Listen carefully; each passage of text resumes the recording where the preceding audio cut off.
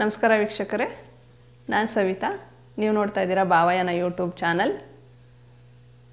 ಈ ವಿಡಿಯೋದಲ್ಲಿ ಮನೆಯಲ್ಲೇ ಸುಲಭವಾಗಿ ಹೇಗೆ ಏರ್ ಕಲರಿಂಗ್ ಮಾಡ್ಕೊಳ್ಳೋದು ಅನ್ನೋದ್ರ ಬಗ್ಗೆ ಹೇಳ್ಕೊಡ್ತಾ ಇದ್ದೀನಿ.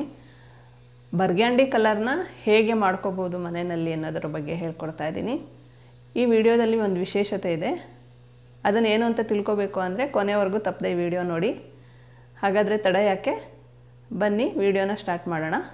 ಅದಕ್ಕೂ ಮೊದಲು ಯಾರೆಲ್ಲ ಈ ವಿಡಿಯೋ ನೋಡ್ತಾ ಇದ್ದೀರಾ, ತಪ್ಪದೆ ಭಾವಯನ ಯೂಟ್ಯೂಬ್ ಚಾನಲ್ಗೆ ಸಬ್ಸ್ಕ್ರೈಬ್ ಮಾಡಿ, ಪಕ್ಕದಲ್ಲೇ ಇರೋ ಬೆಲ್ಲೈಕನನ್ನು ಪ್ರೆಸ್ ಮಾಡಿ, ಲೈಕ್ ಮಾಡಿ, ಶೇರ್ ಮಾಡಿ, ಕಮೆಂಟ್ ಮಾಡಿ. ಬನ್ನಿ ಶುರು ಮಾಡೋಣ ಭಾವಯಾನ ಈಗ ನೋಡಿ ಫ್ರೆಂಡ್ಸ್, ಈಗ ಈ ಹೇರ್ ಕಲರಿಂಗ್ನ ಮಾಡ್ಕೊಳ್ಳೋಕ್ಕೆ ಏನೇನು ಬೇಕು ಅಂತ ನೋಡೋಣ. ಮೊದಲಿಗೆ ಒಂದು ಬೀಟ್ರೋಟ್ ತೆಗೆದುಕೊಳ್ಳಿ. ಆ ಬೀಟ್ರೋಟನ್ನು ಚೆನ್ನಾಗಿ ಸಿಪ್ಪೆ ತೆಗೆದು ಚೆನ್ನಾಗಿ ತೊಳೆದಿಟ್ಕೊಂಡು ಸಣ್ಣಗೆ ತುರ್ಕೊಳ್ಳಿ. ಈ ರೀತಿ ಸಣ್ಣಗೆ ತುರಿದಾದಮೇಲೆ ಅದನ್ನು ಒಂದು ಪಾತ್ರೆನಲ್ಲಿ ಹಾಕ್ಕೊಳ್ಳಿ. ಈ ಬೀಟ್ರೋಟ್ ತುರಿಯನ್ನು ಪಾತ್ರೆಯಲ್ಲಿ ಹಾಕಿ ಆದಮೇಲೆ ಅದಕ್ಕೆ ಎರಡು ಚಮಚದಷ್ಟು ಕಾಫಿ ಪೌಡರನ್ನು ಸೇರಿಸ್ಕೊಳ್ಳಿ. ನೀವು ಬಳಸೋ ಯಾವುದೇ ಕಾಫಿ ಪೌಡರನ್ನು ಸೇರಿಸ್ಕೋಬಹುದು. ಜೊತೆಗೆ ಇದಕ್ಕೆ ಎರಡು ಲೋಟದಷ್ಟು ನೀರನ್ನು ಹಾಕ್ಕೊಳ್ಳಿ.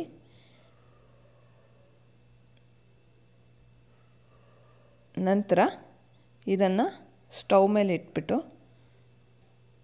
ಕಾಯಿಸಿ. ಈ ನೀರು ಎರಡು ಲೋಟದಷ್ಟಿರೋ ನೀರು ಒಂದು ಲೋಟದಷ್ಟು ಆಗೋವರೆಗೂ ಚೆನ್ನಾಗಿ ಕುದಿಸ್ಬೇಕು. ಈಗ ಇದು ಕುದ್ದಿದೆ. ನಂತರ ಇದನ್ನು ಫಿಲ್ಟ್ರ್ ಮಾಡ್ಕೊಳ್ಳಿ. ಈಗ ನೋಡಿ, ಇದನ್ನು ಕಲಿಸ್ಕೊಳ್ಳೋಕ್ಕೆ ಈ ರೀತಿ ಒಂದು ಸ್ಟೀಲ್ ಬೌಲ್ ತಗೊಳ್ಳಿ. ಒಂದು ನಿಂಬೆಹಣ್ಣು ಹಾಗೂ ಇದ್ರ ಜೊತೆಗೆ ಸ್ವಲ್ಪ ಮೊಸರನ್ನು ತೆಗೆದುಕೊಳ್ಳಿ. ನಾವು ಆಗಲೇ ಮಾಡಿಟ್ಕೊಂಡಿರ್ತಕ್ಕಂತಹ ಬೀಟ್ರೋಟು ಮತ್ತು ಕಾಫಿ ಪೌಡ್ನ, ಪೌಡರ್ನ, ಅದು ಡಿಕಾಕ್ಷನ್ನು. ಇದು ನೋಡಿ, ಇದು ನೂಪುರ್ ಹೆನ್ನ ಮೆಹಂದಿ ಪೌಡರು. ಇದು ಗೋಡ್ರೇಜ್ ಕಂಪ್ನಿಯವ್ರದ್ದು. ಇದರ ವಿಶೇಷತೆ ಏನು ಅಂತ ಆಮೇಲೆ ನೋಡೋಣ. ಈಗ ಕಾಫಿ ಮತ್ತು ಬೀಟ್ರೂಟ್ ಫಿಲ್ಟರ್ ಇದೆಯಲ್ಲ, ಅದನ್ನು ಹಾಕ್ತಾಯಿದ್ದೀನಿ ನಂತರ ಇದಕ್ಕೆ ಸ್ವಲ್ಪ ನಿಂಬೆಹಣ್ಣು ಮೊಸರು ಹಾಕ್ತಾಯಿದ್ದೀನಿ ಎರಡು ಸ್ಪೂನಷ್ಟು ಮೊಸರು. ನಂತರ ಇದಕ್ಕೆ ನಿಂಬೆಹಣ್ಣಿನ ಸ್ವಲ್, ರಸ ಸ್ವಲ್ಪ. ಇವು ಮೂರನ್ನು ಮಿಕ್ಸ್ ಮಾಡಿಬಿಟ್ಟು ಇದಕ್ಕೆ ಮೆಹಂದಿ ಪೌಡರ್ನ ಹಾಕಿ ಚೆನ್ನಾಗಿ ಕಲಿಸ್ಕೊಳ್ಳಿ. ನಿಮ್ಮ ಕೂದಲಿಗೆ, ನಿಮ್ಮ ಕೂದಲಿನ ಉದ್ದಕ್ಕೆ ತಕ್ಕಂತೆ ನೀವು ಈ ಪೌಡರ್ನ ಎಷ್ಟು ಬೇಕೋ ಅಷ್ಟು ಮತ್ತು ಈ ನೀರನ್ನು ಎಷ್ಟು ಬೇಕೋ ಅಷ್ಟು ಹಾಕ್ಕೊಳ್ತಾ ಆ ನೀರನ್ನು ಅಂದರೆ ಡಿಕಾಕ್ಷನ್ ಇದೆಯಲ್ಲ ಅದನ್ನು ಹಾಕ್ತಾ ಮಿಕ್ಸ್ ಮಾಡ್ಕೊಳ್ಳಿ. ಒಂದೇ ಸಲ ಹಾಕಿದ್ರೆ ಚೆನ್ನಾಗಿ ಆಗಲ್ಲ ಎಲ್ಲ ಒಂಥರ ಗಂಟ ಆದಾಗ ಆಗುತ್ತೆ ಮಿಕ್ಸ್ ಮಾಡ್ತಾ ಮಿಕ್ಸ್ ಮಾಡ್ತಾ ಸ್ವಲ್ಪ ಸ್ವಲ್ಪನೇ ಕಲಿಸ್ಕೊಳ್ಳಿ. ಈಗ ನಾನು ಇದನ್ನು ಕಲಸಿದ್ದಾಗಿದೆ. ಈ ಕನ್ಸಿಸ್ಟೆನ್ಸಿನಲ್ಲಿ ಕಲಸಿಟ್ಟಿದ್ದೀನಿ. ಈಗ ಇದನ್ನು ನಾಲ್ಕರಿಂದ ಐದು ಅವರು ಹಾಗೆ ಬಿಡಿ. ಕೆಲವರು ಫುಲ್ ನೈಟ್ ಬಿಡ್ತಾರೆ. ಅದೇನು ಅವಶ್ಯಕತೆ ಇಲ್ಲ. ನಾಲ್ಕರಿಂದ ಐದು ಅವರ್ ನೆನೆದ್ರೆ ಸಾಕು. ಈಗ ಇದು ನೆಂದು ಈ ರೀತಿಯಾಗಿದೆ. ಈಗ ಇದನ್ನು ನಾವು ಅಪ್ಲೈ ಮಾಡ್ಕೊಳ್ಳೋಣ. ಅಪ್ಲೈ ಮಾಡ್ಕೊಳ್ಳೋದಕ್ಕಿಂತ ಮುಂಚೆ ಗ್ಲೌಸನ್ನು ಬಳಸ್ಕೊಳ್ಳಿ. ಗ್ಲೌಸ್ ಬಳಸಿಲ್ಲ ಅಂತ ಅಂದರೆ ಕೈಯೆಲ್ಲ ಕಲರ್ ಆಗುತ್ತೆ. ನೋಡಿ ನನ್ನ ಕೂದಲು ಎಷ್ಟು ಬೆಳಗಾಗಿದೆ ಅಂತ ತುಂಬ ದಿನದಿಂದ ಹಾಗೆ ಬಿಟ್ಟಿದ್ದೆ. ಇದನ್ನ ಅಪ್ಲೈ ಮಾಡಿ ನೋಡಬೇಕು ಟೆಸ್ಟ್ ಮಾಡಬೇಕು ಅಂತಲೇ ಈಗ ನಾನು ಕಲಸಿರೋ ಮೆಹಂದಿನ ಕೂದಲಿಗೆಲ್ಲ ಅಪ್ಲೈ ಮಾಡ್ತಾಯಿದ್ದೀನಿ ಆ ಗ್ಲೌಸನ್ನು ನಾವು ಬಳಸಿಲ್ಲ ಅಂತ ಅಂದರೆ ಕೈಯೆಲ್ಲ ತುಂಬ ಕೆಂಪಗಾಗುತ್ತೆ. ಅದು ಎರಡು ಮೂರು ದಿನ ಆದರೂ ಹೋಗಲ್ಲ. ಅದನ್ನು ನೋಡ್ಕೊಳ್ಳೋದಕ್ಕೆ ಚೆನ್ನಾಗಿರಲ್ಲ ಕೈಗಳನ್ನು. ಹಾಗಾಗಿ ತಪ್ಪದೇ ಇದು ಗ್ಲೌಸ್ಗಳನ್ನು ಬಳಸಿ ಅಂತ ಹೇಳ್ತೀನಿ. ನಾವು ಮೆಹೆಂದಿನ ಅಪ್ಲೈ ಮಾಡೋದಕ್ಕಿಂತ ಮುಂಚೆ ಕೂದಲಲ್ಲಿ ಎಣ್ಣೆ ಇರಬಾರ್ದು. ಎಣ್ಣೆ ಇದ್ದರೆ ಮೆಹೆಂದಿ ಚೆನ್ನಾಗಿ ಬಣ್ಣ ಬರಲ್ಲ. ಹಾಗಾಗಿ ಎಣ್ಣೆ ಇರಬಾರ್ದು. ಈ ಎಲ್ಲ ಮೆಹಂದಿನ ಚೆನ್ನಾಗಿ ಅಪ್ಲೈ ಮಾಡಿ ಆದಮೇಲೆ ನಾವು ವಾಶ್ ಮಾಡಬೇಕಾದ್ರೆ ಶ್ಯಾಂಪು ಬಳಸಬಾರ್ದು. ಫಸ್ಟ್ ಟೈಮು ಅಂದರೆ ಈ ಮೆಹಂದಿ ಹಚ್ಚಿದಾಗ ಬರೀ ನೀರಿನಲ್ಲಿ ವಾಶ್ ಮಾಡಿ ನೆಕ್ಸ್ಟ್ ಡೇ ಅದಕ್ಕೆ ಕೂದಲಿಗೆ ಎಣ್ಣೆ ಅಪ್ಲೈ ಮಾಡಿ ನಂತರ ಸೆಕೆಂಡ್ ಡೇ ಶಾಂಪೂನಲ್ಲಿ ವಾಶ್ ಮಾಡ್ಬೋದು.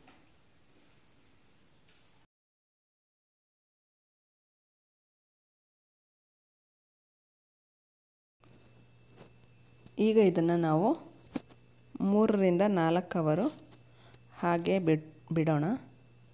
ನಂತರ ಇದನ್ನು ವಾಶ್ ಮಾಡಬೇಕು.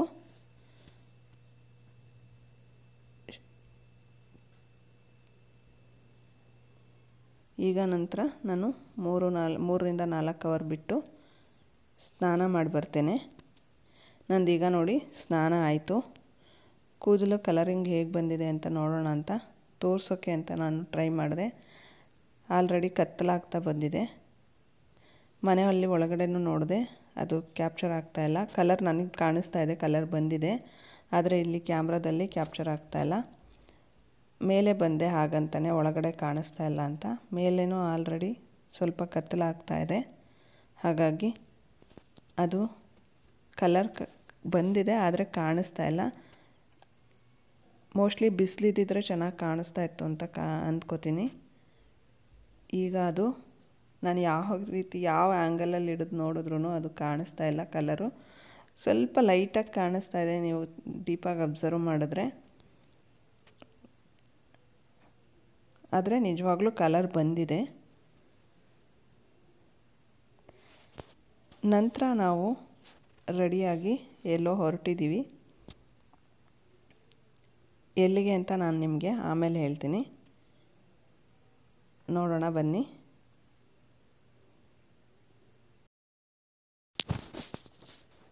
ನಾವು ಹೊರಗಡೆ ಹೋಗ್ತಾ ಇದ್ದೀವಿ ಅಂತ ಹೇಳಿದ್ನಲ್ಲ? ಮಲ್ಲಿಕ್ ಬೀಗ ಹಾಕ್ತಾ ಇದ್ದಾರೆ. ನಾವು ಟೂ ವೀಲರಲ್ಲಿ ಹೋಗ್ತಾ ಇರೋದ್ರಿಂದ ಹೆಲ್ಮೆಟನ್ನು ತಗೊಳ್ತಾ ಇದ್ದೀವಿ. ನಮ್ಮ ಸೇಫ್ಟಿಗೋಸ್ಕರ ಇರೋ ಹೆಲ್ಮೆಟ್ನ ದಯವಿಟ್ಟು ಟೂ ವೀಲರಲ್ಲಿ ಓಡಾಡೋರು ಹೆಲ್ಮೆಟ್ ಬಳಸಿ ಅಂತ ಕೇಳ್ಕೊಳ್ತೇನೆ. ಈಗ ಹೊರಡ್ತಾ ಇದ್ದೀವಿ ಎಲ್ಲಿ ಹೋಗ್ತಾ ಇದ್ದೀವಿ ಅಂತ ನೋಡೋಣ. ನೋಡಿ, ರಾಕ್ ಲೈನ್ ಮಾಲ್ ಹತ್ರ ಬಂದಿದ್ದೀವಿ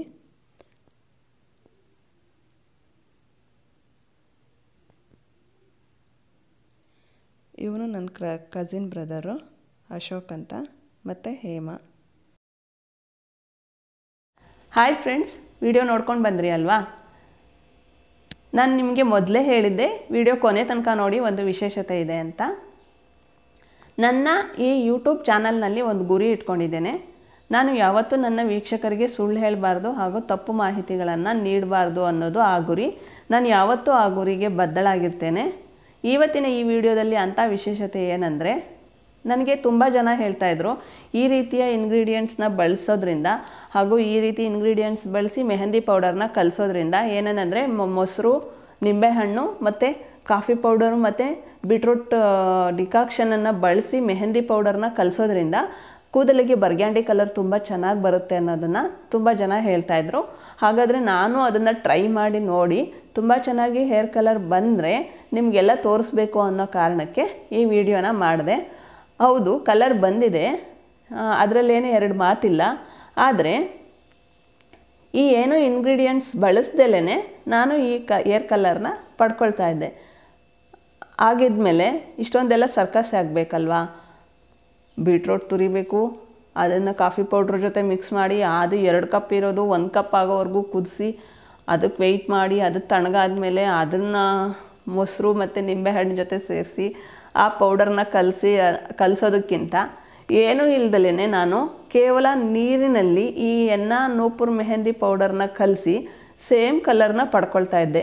ಹಾಗಿದ್ಮೇಲೆ ಇಷ್ಟೊಂದೆಲ್ಲ ಯಾಕೆ ಸರ್ಕಸ್ ಮಾಡಬೇಕಲ್ವಾ?